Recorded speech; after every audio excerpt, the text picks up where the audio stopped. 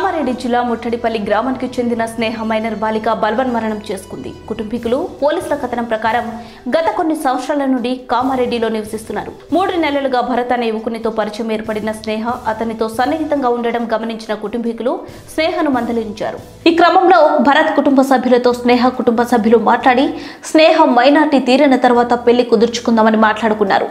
సోమవారం రోజు రాత్రి భరత్ మాజీ ప్రియురాలు ఫోన్ చేసి మందలించడంతో ఉదయం ఇంట్లో ఎవరూ లేని క్రమంలో బలవన్ మరణానికి పాల్పడిందన్నారు. ఇటీ విషయమై కేసు నమోదు చేసి విచారణ చేపడుతున్నట్లు ఎస్ఐ మధుసూదన్ తెలిపారు.